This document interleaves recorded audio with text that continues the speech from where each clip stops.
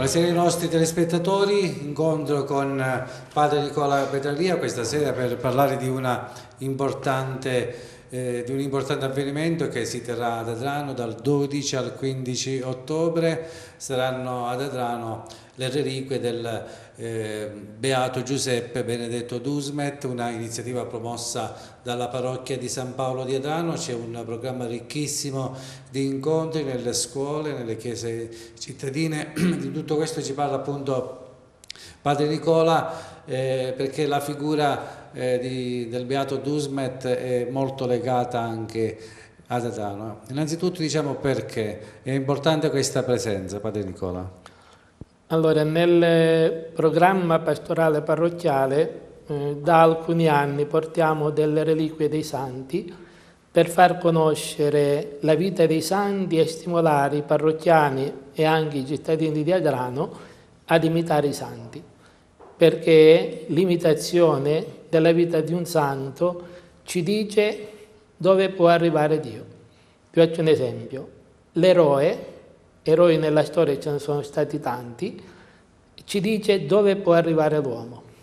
Il santo ci dice dove può arrivare Dio. E quindi il santo porta a compimento la sua umanità perché i veri uomini li troviamo nei santi e i santi di conseguenza sono veri uomini. Quindi presentare in un mondo odierno dove i ragazzi, le persone, i giovani imitano diciamo, gente dello sport, gente dello spettacolo, gente del cinema, gente della politica, imitano anche il mito in negativo. Il mito in negativo significa gente che impone la legge del più forte, quindi con il timore, intimorendo le persone, si impongono. È chiaro, noi vogliamo presentare eh, la vita dei santi per dire che la santità è possibile, che Dio opera nella miseria uma umana facendo prodigi che sono i santi, che sono l'opera della grazia di Dio. Eh, senta, per spiegare un po' meglio, prima la, la figura appunto del Beato Dusmet, eh, accenniamo al programma, eh, l'accoglienza del 12 ottobre, ciò che accadrà in questi giorni ad Adano sino a domenica 15, e poi ci soffermeremo sulla figura appunto del, del Beato Dusmet. Diciamo quali sono i momenti più importanti del, delle quattro giornate inserite nel programma, dal 12 al 15? Allora, tutti i momenti sono importanti. L'accoglienza sarà alle ore 17.30 di giovedì 12, eh, ci sarà eh, il saluto del vicario foraneo Monsignor Reina, il saluto del sindaco Giuseppe Ferrante e poi in processione ci avvieremo verso la parrocchia. Faremo una breve tappa eh, in piazza San Nicolò eh, perché? Perché il Beato Dusmet nel tempo del, del colera a Catania ha voluto una reliquia di San Nicolò Politi come protettore. Sant'Agata, San Nicolò Politi, i santi eh, della diocesi e quindi eh, per intercessione si chiedeva che finisse il colera a Catania. Quindi c'è anche questo legame. Inoltre, eh, San, Padre Conti, in previsione di questa visita che già avevamo annunziato da tempo? Da, da, parecchi anni, in modo Il padre ufficiale. Conti come aveva preparato questo? Allora, ha preparato un canto che faremo lì in piazza San Nicolò, eh, con la reliquia di San Nicolò esposto perché siamo nell'anno giubilare di San Nicolò Politi, e quindi ha scritto questo canto. Quindi sarà un, un, momento anche per ricordare Padre Conti che È un momento per ricordare Padre Conti che ha scritto anche questo canto intitolato Angelo di Carità, perché il Beato Dusmet è un angelo di carità che ha vissuto in modo eccelso la carità eroica, cioè ha incarnato nella sua vita, nella sua persona, la carità di Dio. Eh, perché anche questo? Perché viveva tra i poveri.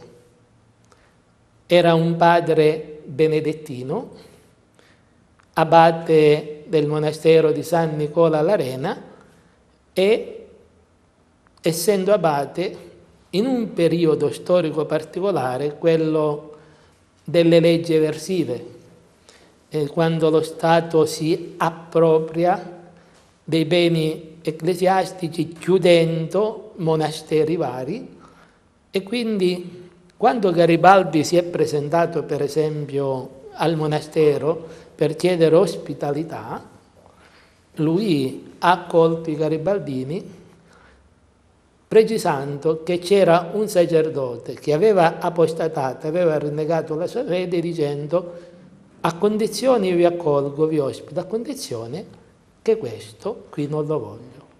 E Garibaldi ha accettato questo. Eh, e lei è stato eletto vescovo di Catania e nel suo programma pastorale ha sottolineato la scelta preferenziale per i poveri. Tant'è vero dice che se avessimo anche un panettello lo divideremmo con il povero.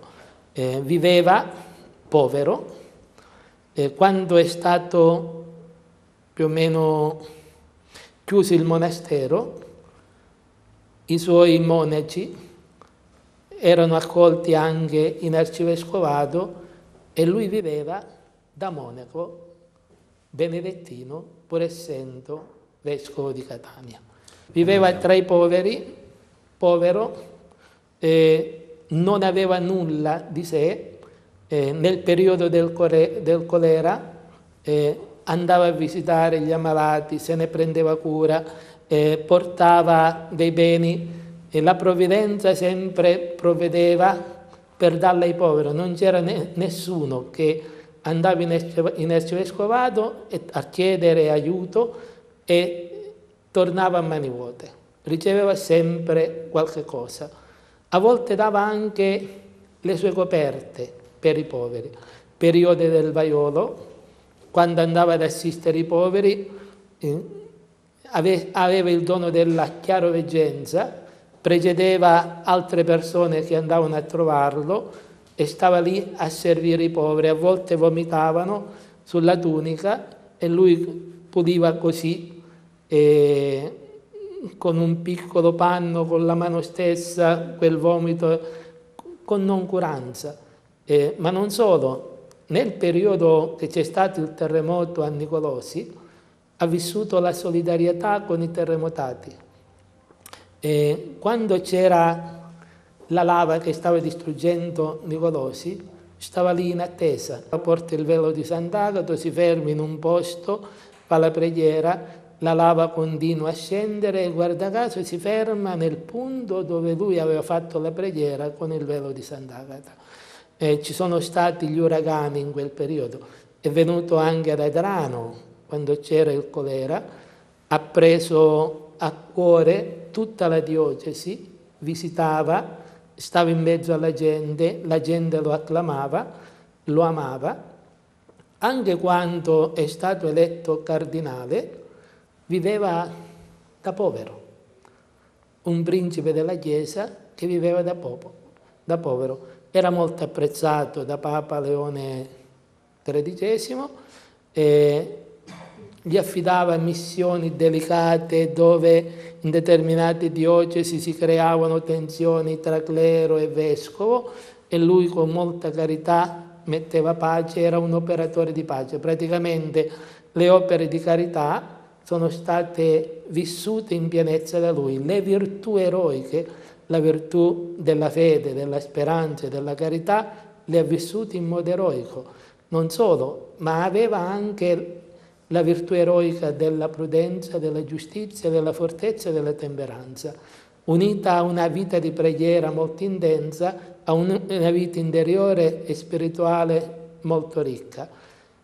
Oltre a questo tu capisci che era tanto amato dalla gente, più volte soccorreva, ha fatto cinque volte la visita pastorale in diocesi, quindi conosceva la diocesi molto bene l'aveva a cuore, se ne prendeva cura. Ad Adrano è avvenuto il, il miracolo della beatificazione. perché tu sai che ci sono varie tappe per arrivare alla canonizzazione. La prima tappa quando si istituisce il processo eh, di, per la canonizzazione, già una persona diventa servo di Dio. Si approfondiscono le virtù eroiche, una volta che si vede la virtù eroica diventa venerabile. Poi si aspetta un miracolo di primordine per la beatificazione. Ci sono stati tanti miracoli, ma quello che è stato scelto è stato proprio quello di Salvatore Consoli qui ad Adrano. Era un muratore. Eh, se non sbaglio, nel 1931? È, è, stato riconosciuto, sì, è, è, avvenuto il miracolo nel 1931. Eh. Poi la beatificazione è avvenuta nel 1988 è stato Papa San Giovanni Paolo II Secondo, a sì. beatificarlo. Quindi il miracolo è del 31. Sì, eh, praticamente era questo muratore che mentre stava lavorando cade dalla scala e si rompe, se non ricordo male, la decima lombare. Quindi eh, le sue condizioni peggioravano continuamente e se non che la famiglia cosa ha fatto? La pietà popolare della gente semplice, eh, non della fede dei tendi, possiamo dire, eccelsa, forbita, ma della fede semplice del popolo santo di Dio. Hanno preso un'immaginetta del Dusmet, dei fiori che erano nella tomba del Dusmet, li posano sul corpo di questo Salvatore Consoli e guarisce immediatamente, improvvisamente. Tu capisci? Tutto riconosciuto dalla Chiesa. Tutto questo. riconosciuto dalla Chiesa e di conseguenza dopo anni si sono cercati questi miracoli, la causa è andata avanti e poi Papa San Giovanni Paolo II lo ha scritto nell'elenco dei beati. Si aspetta un altro miracolo per la canonizzazione. Ricordiamo che eh, Adrano ha dedicato una delle vie centrali sì. al Beato Dusmet. Sì, la via che scende da Piazza San Pietro sì, a Piazza no, Umberto, Umberto Dusmet, fino a. Santa Chiara. Esatto. Il programma, più o meno... Programma, brevemente perché è fino a domenica. Il programma eh, c'è l'accogliente, vi stavo dicendo prima, poi ci fermeremo a San Nicola Continueremo la processione per via Garibaldi, piazza Giacomo Maggio, via Catena, piazza Giovanni XXIII, via San Paolo nella Chiesa Nuova. Eh, appena arriveremo c'è la celebrazione dei Vespri, poi il corpo sarà esposto per la venerazione dei fedeli. È un corpo, se tu vedi le mani, sono ancora incorrotte. Eh, e il corpo per la venerazione dei fedeli poi alle 21.15 ci sarà una veglia sul tema le virtù eroiche del beato Giuseppe Benedetto Dusmet e i giovani di oggi. È uno stimolo eh, per i giovani a vivere la vita virtuosa, perché oggi la virtù è diventata un vizio, va bene? Non si sa neppure che cos'è, mentre le virtù ci aiutano a vivere in modo onesto, moralmente integro e a portare a compimento la nostra umanità, collaborando con la grazia di Dio, perché le virtù non si incarnano nella nostra anima, le virtù infuse, cardinali e teologali, hanno bisogno dell'esercizio. Andiamo avanti col programma. E poi dopo la veglia, tutta la notte, fino alle 7.30 del mattino, la chiesa sarà aperta per la venerazione preghiere, della, del corpo e faremo canti e preghiere continuamente. Alle sette e mezzo del mattino ci saranno le lodi e la Santa Messa.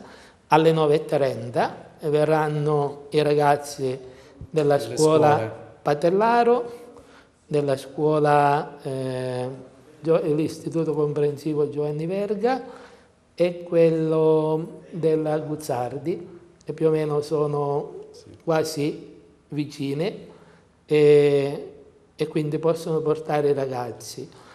E i ragazzi saranno intrattenuti da Don Ildebrando Scicolone, che è un sacerdote benedettino. Veramente dell'Istituto Comprensivo Bascetta, però l'ex Verga, ex Verga, sì. Verga sì. E quindi, non solo l'ex Verga, la Guzzardi e il secondo circolo didattico sì. Don Antonino Lamela, Patellaus. E dopo, um, durante, perché alle nove e mezzo c'è una scuola, alle dieci e mezzo un'altra, alle undici e mezzo un'altra ancora. Durante la pausa del pranzo la chiesa rimarrà aperta per i fedeli che vorranno uh, venire a venerare il corpo del Beato Edusmet e pregarlo, chiedere intercessioni e chiedere preghiere per ottenere grazie. E poi nel pomeriggio alle 16.30 ci sarà eh, la preghiera del rosario, alle 17.30 una catechesi per far conoscere il Dusmet ed è il, il, il beato Giuseppe Benedetto Dusmet, vero discepolo di San Benedetto, perché viveva la regola in modo egregio. Lui si chiamava Giuseppe Benedetto, il nome che aveva tantissimi nomi, tantissimi. ma tantissimi nomi. E poi... Eh, ricordiamo alcuni di questi nomi? Eh, non me lo ricordo io, perché mi sono. Giuseppe Benedetto aveva tanti altri, sì, altri che nomi, aveva sì. scelto lui i genitori. Ah, i genitori. I genitori al momento del battesimo. Ma tanti quanti? Non so se erano 7 o 8. 7-8 nomi. Mm. Però era Giuseppe il suo nome principale. Tra questi nomi, Giuseppe Benedetto, poi quando fa la professione sceglie questi due nomi. E poi siamo... dopo alle 19.30 dentro la messa ci saranno i vespri, così come al mattino, eh, non l'abbiamo messo nel, nel, programma perché mi è sfuggito. Alle 21.15 una veglia animata dal Consiglio pastorale parrocchiale sul tema La cura pastorale del Beato Giuseppe Benedetto Dusmet nella diocesi di Catania. E questo dopo tutta la notte in preghiera, dopo la veglia, la chiesa rimarrà aperta per venerare il Sacro Corpo. Sabato la stessa cosa, le scuole verrà, eh, il liceo... Eh, sabato verranno i ragazzi degli istituti superiori, giusto? Sì. Il liceo, il ginnasio eh, Giovanni Verga, sì. e poi la scuola cattolica Santa Lucia. Santa Lucia. Eh, ci sarà sempre padre Scivolone, nel pomeriggio sempre eh, stessa, mm, lo stesso programma, alle 16.30 il rosario, alle 17.30 la catechesi, e stavolta sulla virtù, eh, sulla carità eroica del Beato Dusmet. E poi alle, 21, alle 19 eh, Vespre e Santa Messa, alle 21.15 una veglia di preghiera animata dalla eh, Legione di Maria del Vicariato di Adrano, sul tema l'amore, la eh, l'amore a Maria del beato Giuseppe Benedetto Dusmet, madre di Dio.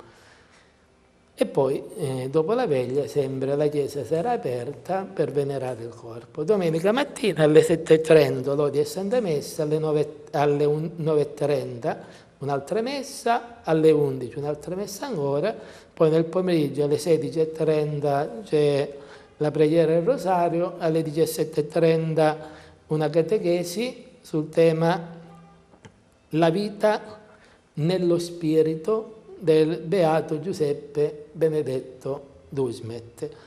E poi alle 19 ci sarà eh, Monsignore Genchi, vicario generale della diocesi, a celebrare la Santa Messa, dopo daremo il commiato con l'impegno, perché questo è importante, di imitare le virtù eroiche del Beato Dusmet. I santi vengono elevati agli onori degli altari proprio per essere venerati pregati perché possano intercedere e ottenerci le grazie necessarie per la nostra conversione e la nostra salvezza e poi perché li possiamo imitare. Questo Abbiamo visto che il programma lo sa a memoria, lui non ha letto durante tutta l'elencazione eh, degli appuntamenti, ricordava anche gli orari, tutti i temi. Stiamo cose. diventando vecchi però. Vabbè, però già il fatto che mantiene la memoria su un programma di quattro giorni è importante. Eh, ho visto anche, ho notato pure che ha, ha studiato la vita del cardinale Dusmet, l'ha studiata per questa occasione o erano cose che sapeva già? Che lo... Allora, quando sono entrato in seminario eh, era in concomitanza l'anno successivo, l'anno successivo e ci hanno regalato un grosso volume di 680 pagine del Beato Dusmet. Alcune cose le sapevamo, eh, qualche volta leggevamo qualche pagina, ci sono stati altri scritti eh, di autori diversi, tra cui padre Gaetano Zito, e questo volume ultimamente, durante gli esercizi spirituali che sono andato a fare ad agosto e anche prima, nei momenti eh, quando non c'erano meditazione, preghiere, incontri degli esercizi, quindi la sera tardi, prima di andare a letto, mi mettevo a leggere eh, qualche pagina di questo libro, cioè sono 680 pagine.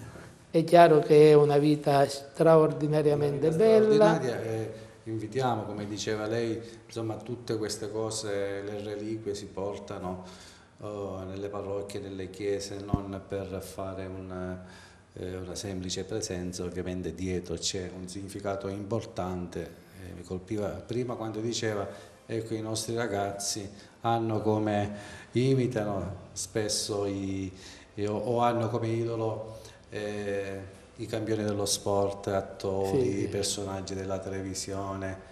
Mm, sarebbe bello invece se avessero un santo da imitare eh, o, da, o, da, seguire o, o da conoscere. Eh, sarebbe bello leggere la vita del cardinale Dusmet anziché la vita di, di qualche eroe dello sport. Sì, sì, ma tieni presente anche che i santi ci dicono, come vi dicevo prima, la compiutezza dell'uomo. Chi è l'uomo?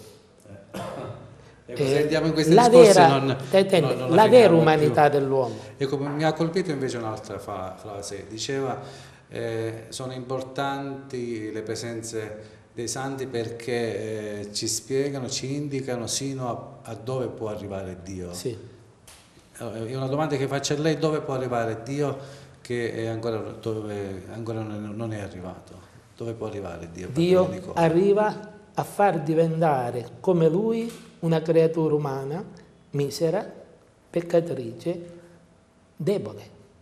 Arriva Lui e lo eleva nella sfera della sua divinità, lo deifica, lo divinizza. Questa è la grandezza di Dio. Il motivo per cui Dio ci ha creati qual è stato?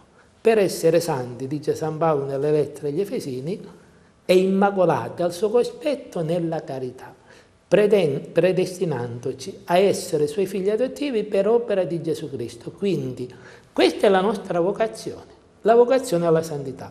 Chi nella vita non diventa santo sarà un fallito, perché questa è la nostra vocazione. Il battesimo ci fa santi, dal punto di vista sacramentale.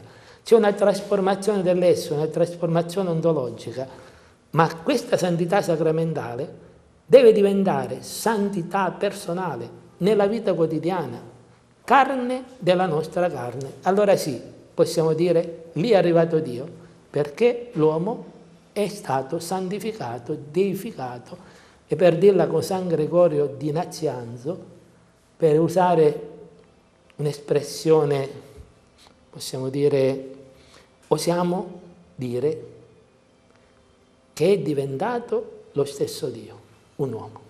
Bene, allora concludiamo qui questo incontro con padre Nicola Petralli, abbiamo illustrato il programma, un incontro speciale per illustrare appunto la visita ad Adrano, l'approdo ad Adrano delle reliquie di, del Beato Giuseppe Benedetto Dusmet, accoglienza giovedì eh, 12 ottobre alle 17.30 in piazza Umberto, poi il eh, corpo, perché la reliquia consiste in tutto il corpo di padre. Tutto il corpo. Il termine reliquia significa ciò che rimane. In attesa della risurrezione. Per questo i santi, lì sopra, vivono una vita non naturale, perché la vita naturale qual è? Spirito, anima e corpo. A causa del peccato il corpo si separa dall'anima, ma i santi sono molto legati al loro corpo in attesa della risurrezione. Per questo, quando c'è una reliquia, c'è anche la presenza del santo. Eh. Non sono solo, certo. solo ossa certo, o corpo incorrotto. Eh. E l'incorruzione ci dice cosa fa l'Eucarestia è il farmaco dell'immortalità. La reliquia allora resterà sino a domenica 15 nella chiesa di San Paolo sì. Adano, quindi invitiamo tutti, a partecipare. Invitiamo tutti, piccoli e grandi, a partecipare, a fare una piccola visita in questi quattro giorni appunto nella chiesa di San Paolo di Adano perché per scoprire anche questo cardinale che è molto legato ad Adano, c'è sì, questo sì, miracolo che, e insomma, credo che io sconoscevo. Insomma, credo che ci sia anche in questo miracolo Zambini San Nicolò Politi di cui il cardinale era devoto.